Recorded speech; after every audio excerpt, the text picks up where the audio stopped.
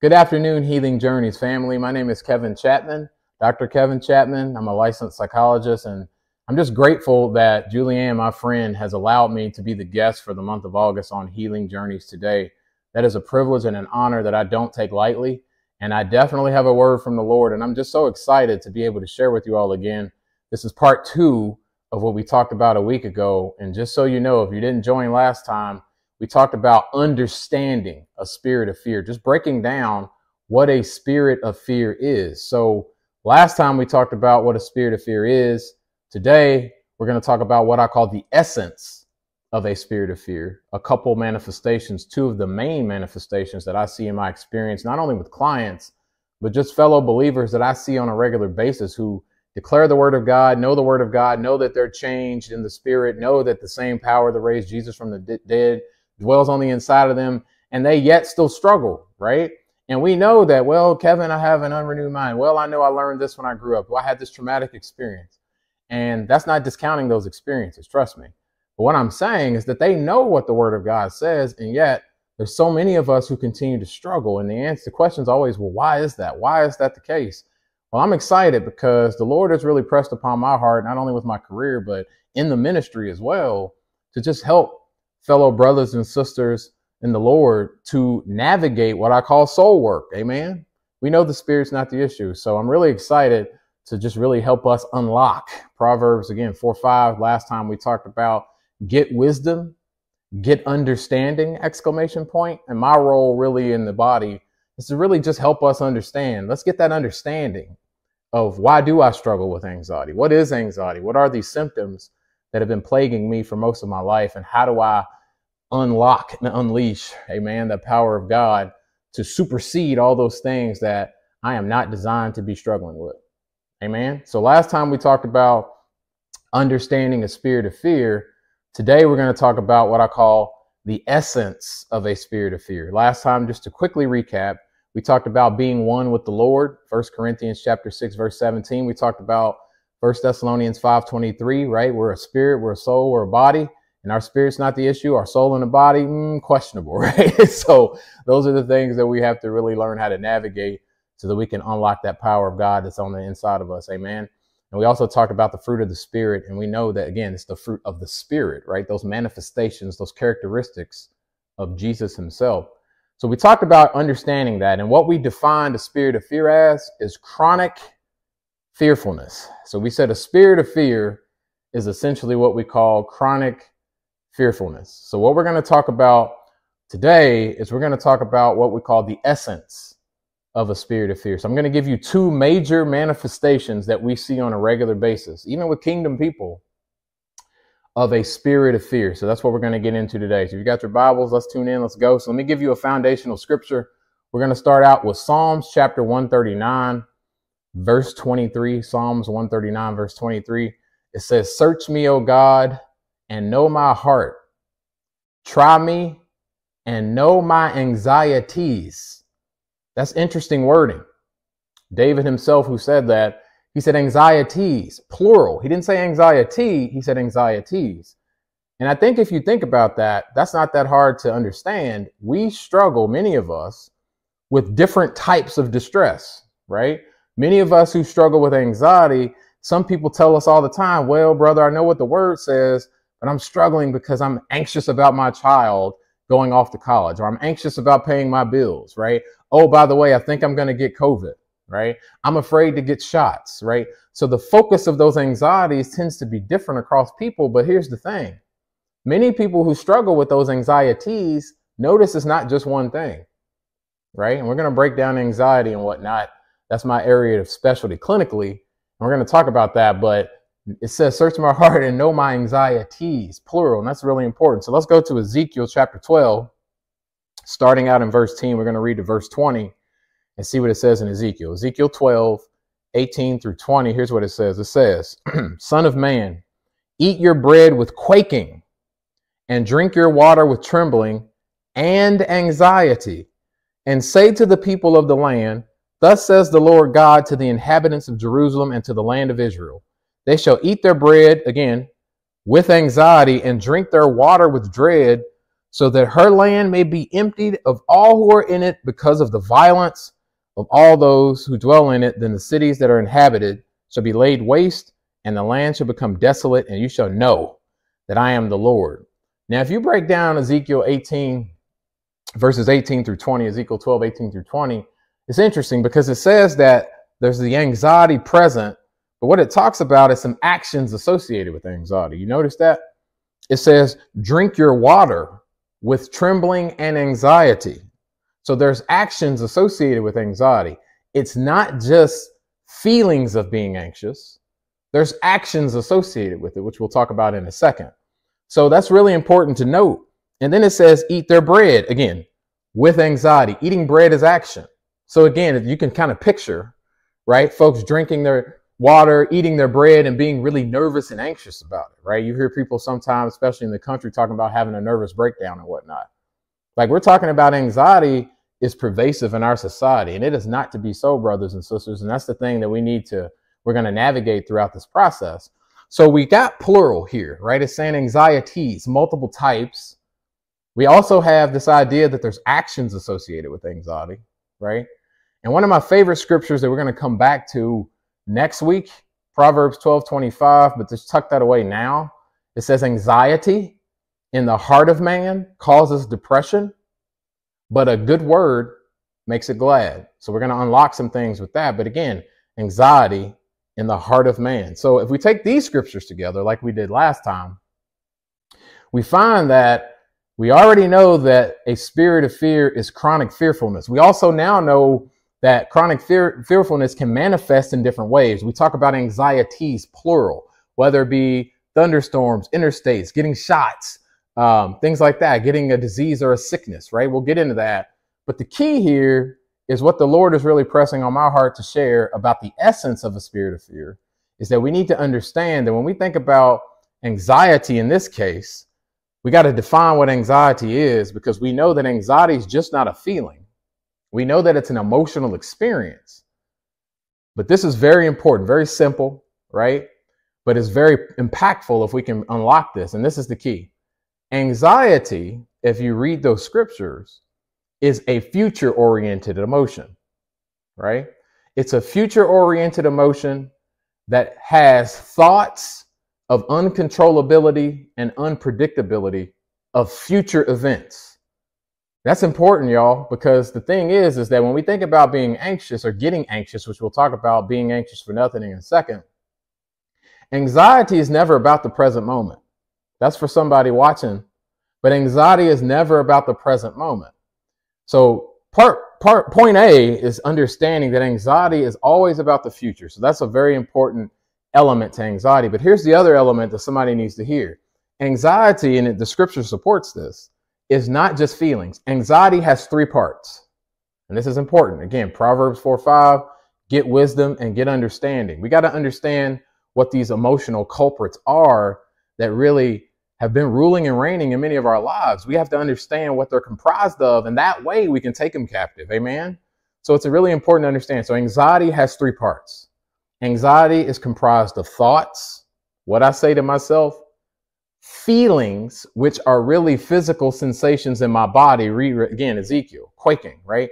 So it's that arousal in my body, heart racing, shortness of breath, right? Dizziness, lightheadedness. So it's the arousal in my body. So feelings, and then we have behavior, quaking with trembling. Did y'all notice that? So anxiety has three parts thoughts, physical feelings in my body, and my behavior. So anytime somebody experiences that emotion known as anxiety, we know that it has those three parts. So that's extremely important. And again, anxiety is never about the present. Anxiety is always about the future. And the word actually speaks to that. So that's something to tuck away. So what am I saying? One essence of a spirit of fear, which we talked about was chronic fearfulness in part one. This is part two. Chronic fearfulness or a spirit of fear is manifested one way through what we call simply chronic anxiety. Chronic anxiety. Okay, so chronic anxiety. So let's delve into chronic anxiety. So, with that being said, let's go to Philippians chapter 4, verse 6. Many of y'all know this scripture. Philippians chapter 4, verse 6. All right. And we know what it says. We're going to read it. New King James. Be anxious for nothing, right? But in everything, not some things, but in everything, by prayer and supplication. What's it say? It says, with thanksgiving, let your requests be made known to God. Many times when we struggle with anxiety, right, we make it our request known to God once everything has already taken place, right? But it says with thanksgiving, right? So I'm not going to jump into the Thanksgiving part right now, amen. But nonetheless, it says be anxious for nothing. Let me explain something. Being anxious and experiencing anxiety are not the same things. Let me say that again. Being anxious and experiencing anxiety aren't the same. The Word of God tells us to be anxious for nothing. Being represents, even in the Greek, existence, right? Being, who I am, my identity, what I'm comprised of. So being anxious, again, represents a spirit of fear in the sense that it's chronic anxiety, meaning there's a mindset associated with how I view things. My worldview, though biblical, may be that I'm used to looking at everything around me, who I am, how I interact with others, and my future through the lens of distress, right? Through the lens of a threat bias, as we like to say.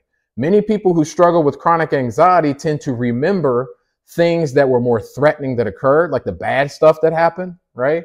Hence the thanksgiving in the Word of God, but also tend to pay more attention to the things that are threatening, right? It's like, I've passed this test 25 times, but there's that one though, right? So it's this idea that I'm only paying attention to threat and that becomes my experience. So being anxious for nothing is not the same as experiencing what many of us, if we're honest, have on a pretty regular basis, and that's experiencing the emotion known as anxiety. See, that's not a spirit of fear. A spirit of fear is chronic anxiety. What's the difference, Kevin? Well, here's what I'm saying. Experiencing anxiety is saying, oh, I have an upcoming exam, right? And I need to get an 80% on this test or I'm going to fail the class. How many of y'all know and would agree that you're going to have some heart racing, right? We can stand on the word and we should. That needs to be our first go to. But I'm saying because of the way, because of the fall, we talked about the fall, and we talked about neuroticism being unlocked in the fall, and that disposition that many of us have of being chronically anxious, right? Happened because we live in a fallen world, and many of us have this high intensity of emotional experiences, these negative emotions, and we view our world as threatening and our and we perceive ourselves as unable to cope with threat. So if you couple that with modeling from parents, right? Traumatic experiences, the way I've learned to think about myself, negative experiences I've had in the context of certain situations and whatnot, all of those things can shape the way I perceive myself and my interaction with the world around me. So when I'm saying being anxious, chronic anxiety is what we're talking about. We're saying that despite me standing on the word, I seem to have an urge, right, or a compulsion and feel compelled to be nervous when I'm in certain situations, despite me knowing what the Word of God says. Many of us, right, have that tendency, and therefore we need to be reprogrammed, right? Romans 12, 2. So that's what we're going to get into. So being anxious is a spirit of fear, right? Being known in the natural as chronic anxiety. So what do I mean by that? Some examples of that are what we call disorders of anxiety, right? Generalized anxiety disorder. What's that? Chronic worry, right? We often talk about OCD, obsessive compulsive disorder. We also often talk about social anxiety disorder. These are all labels that I would not encourage you all to accept. But again, as I said last time, these are all symptoms of syndromes or disorders. But our identity is in Christ. Amen. I'm not saying we ignore those things, but I'm saying there's a greater reality to the supernatural and the power on the inside of us and the Spirit of God that dwells on the inside of us, that we have the ability and the DNA through the Word of God to unlock that and get that to be activated. So, what we're doing is we're breaking down this understanding. All right. Amen. So, I just want to say that to say that if you want to know what I mean by chronic anxiety as a spirit of fear, we're talking about things that meet criteria, right? For chronic anxiety syndromes and disorders like social anxiety, OCD, PTSD, right? Uh, we talked about trichotillomania a little bit last time, which is hair pulling, right? Uh, and things like that. So these are all things based on this disposition and this chronic tendency to be anxious. All right. So that's what I mean when I say be anxious for nothing. Is that on the one hand, experiencing anxiety and responding to it, like say studying for the exam, my anxiety tanks. It goes away. Why? Because that anxiety was trying to prepare me to address something that could in fact be threatening. See, that's see, that's the thing. Is that being anxious is one thing. Experiencing anxiety when my emotional experience is saying, "Hey Kevin, you might need to pay attention to that upcoming test because you see if you don't study, there's this thing called a natural consequence, and if you don't prepare for it, you're going to fail. So if I study, I might still experience some anxiety at first, but like I said last time, if I prepare for the exam and study, and start remembering the content, what happens to my anxiety on test day? Amen. You see what I'm saying? So I've responded to that anxiety because it was trying to help me prepare, which is a very important point. In the Greek, the closest translation to the word anxiety is actually care, right? And it's really interesting because there's a di- couple different definitions of care. On the one hand, care, right, or careful, if you will, often means to distract or to take to a completely different direction. So it's like I have all these different things swirling in my head. Does that sound familiar? So it's like I have all these things that draw me away from my source, right? The Lord Jesus Christ. But it's all these other things that are essentially competing for my attention. But on the other hand, care also means like when somebody says be careful, right? It's kind of consistent with what it says in 1 Peter 5 8 when it says be sober and be vigilant. It doesn't say be hyper vigilant, it says be vigilant. So when we're talking about the other definition of care or anxiety, it's actually meaning to be thoughtful and deliberate. So that's interesting because that corresponds with what the word is saying here. Being anxious is chronic anxiety. On the other hand, responding to the emotion of anxiety correctly by confronting whatever the distress is is adaptive. That's important. We oftentimes call anxiety preparatory coping when we use it correctly. All right, amen. So I say that to say that one essence of a spirit of fear is what we call chronic anxiety, also known as like debilitating anxiety. In my world, which I don't like my clients owning labels, again, our identities in the Lord, but for the sake of understanding, again, OCD, social anxiety disorder, generalized anxiety disorder, which is chronic worry, right? Which we'll talk about worry, PTSD, phobias, things and things like that that we treat all the time. All right. So that's one piece. All right. Here's the other thing that I want to talk about. So another essence of a spirit of fear. All right. So we have chronic anxiety on the one hand. On the other hand, we have what we call chronic panic attacks. Now, this is interesting because many people might think, well, yeah, I don't know what you mean by panic. And that makes sense that that's a, the essence of a spirit of fear. But here's what here's something a lot about fear and panic that a lot of people don't know, and this is where we want to talk about that a little bit. We talked last time about fear meaning phobos, right? Coming from the Greek word phobos. We literally get the word phobia from that. And just to remind us, that phobos is like that which causes terror or dread. And it also means in the word intimidation, anything that is intimidating by adversaries right? How many of us have adversaries? It could be our own thoughts that are adversaries. We know the enemy's an adversary. People who are against us, adversaries, right? Sanballat, like with Nehemiah, adversaries. Someone speaking against you. Those are all adversaries, right? So we're talking about anything that causes fight, flight, or terror. And it's really interesting because, again, another essence of a spirit of fear is, again, recurrent panic attacks. Now, here's why I say that all right. We know that panic and fear, believe it or not, are the exact same things. Now, let me explain to you what I mean by that.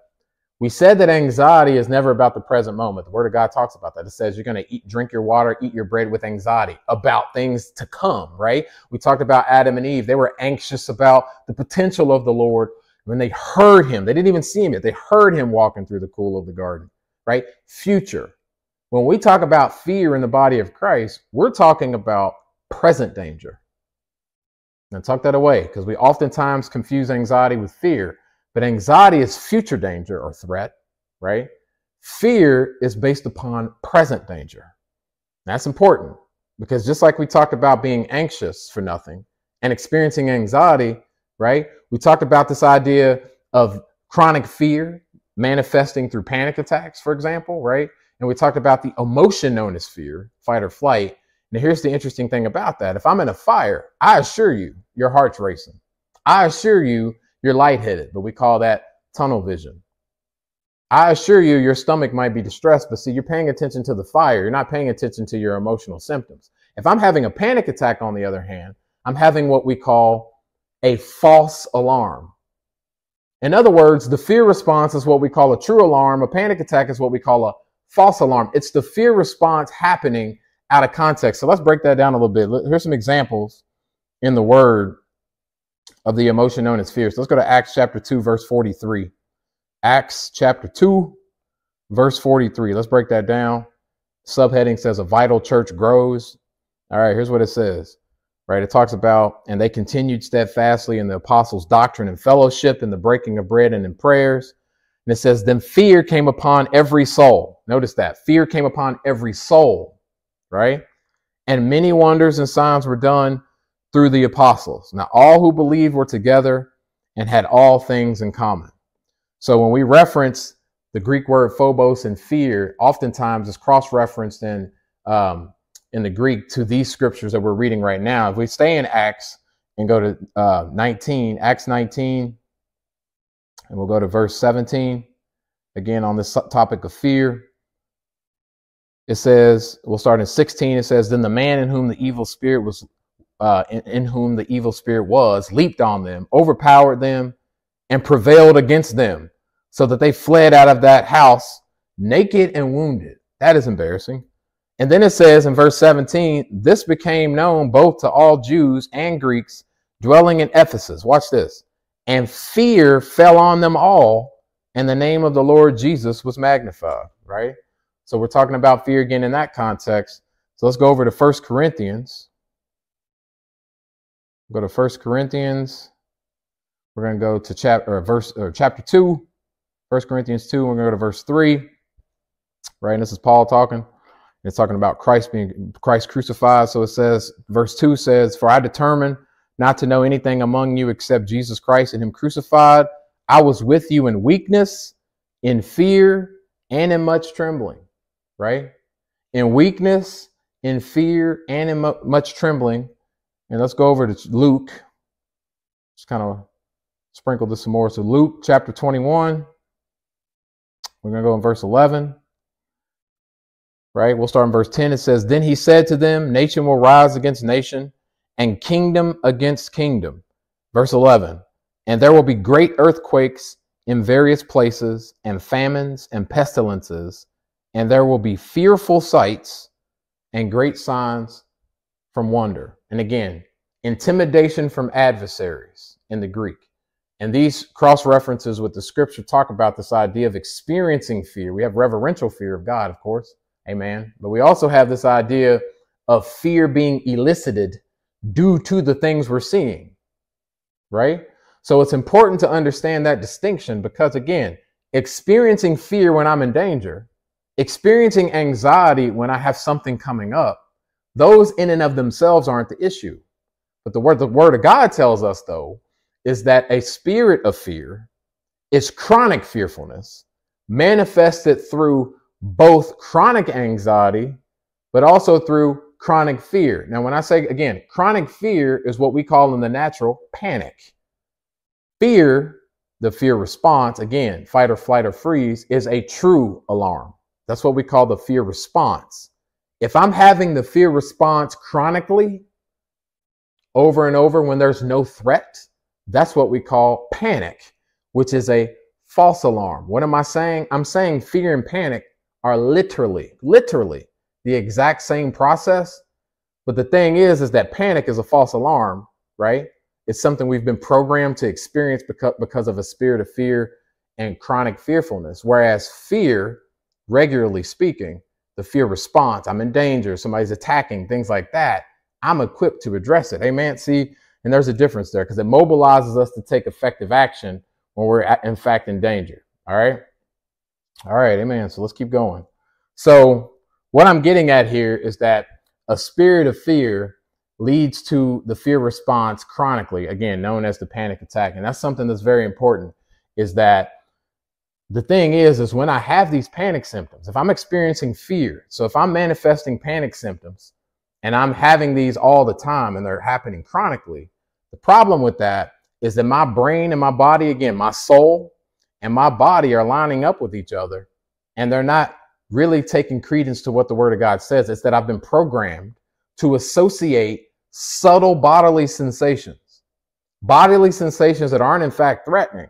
But see, my brain might remind me that I had a negative experience or a traumatic experience, right? And therefore, anytime I get a hint or a twinge in my body, my brain associates those symptoms with the potential of panic, right? So therefore, what happens is my mind starts playing tricks on me and it says, Oh, remember that time you had that panic attack at Target? Right. So all of a sudden, I subtly interpret those sensations as, Oh no, I'm in danger. Oh no. Then that revs up the engine more. My symptoms start to intensify. My thoughts start to spiral and boom, I'm having a full blown panic attack. That's how panic works. Now, if I have those panic symptoms in the context of a situation, then my brain and the enemy wants to work and say, you know what? Remember you had that panic attack on the interstate? Remember you had that panic attack in Target? Remember you had that panic? See, it's always that are you who you say you are? See what I'm saying?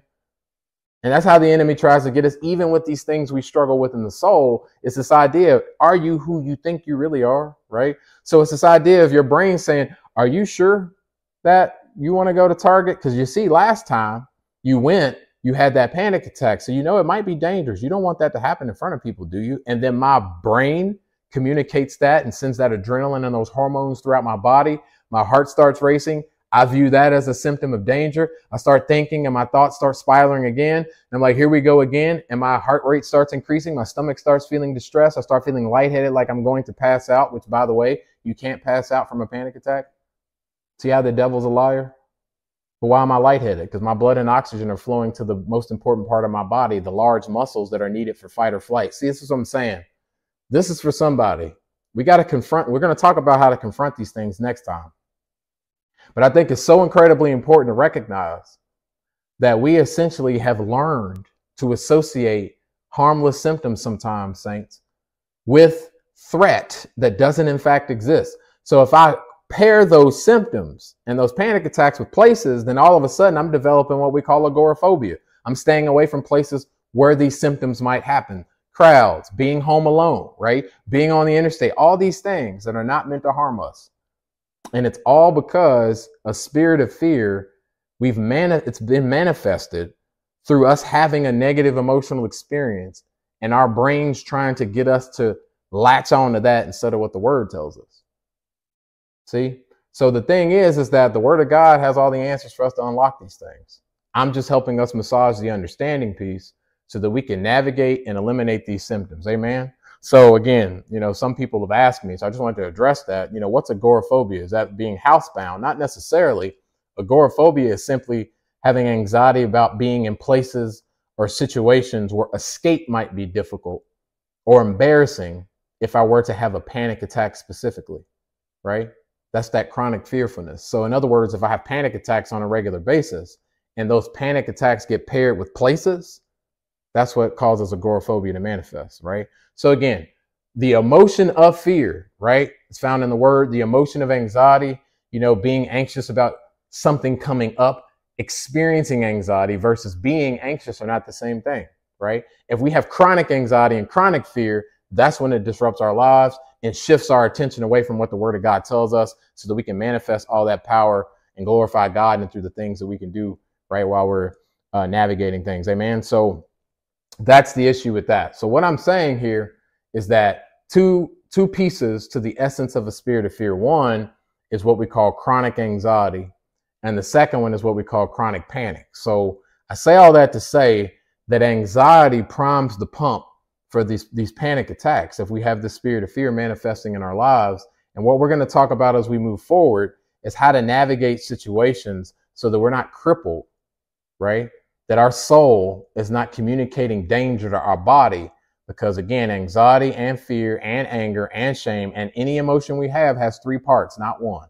We got thoughts, we got physical sensations in our body, and we got behavior. So here's what I'm saying in summary, what I'm saying is a spirit of fear is expressed through being anxious and experiencing the fear response in the absence of danger. Let me say that again. A spirit of fear often is expressed through being anxious and experiencing the fear response, also known as panic, when there is no danger. Well, Dr. Kevin, it feels real.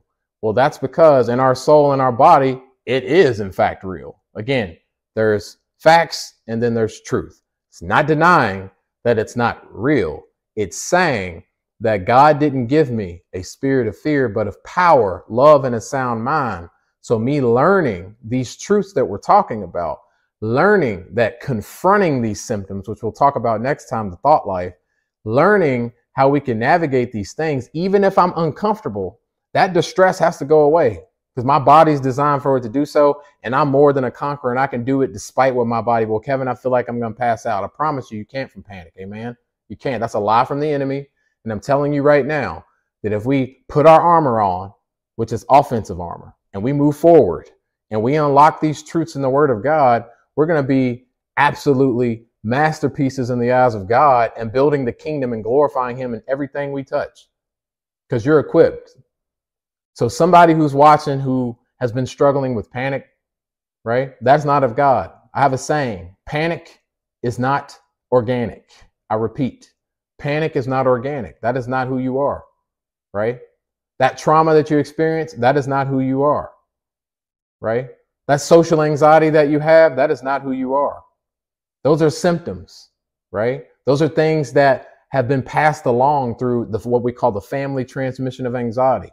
Things have been modeled for us, right? We've associated things that are not dangerous with emotional experiences. But I promise you, saints, we can reprogram these things.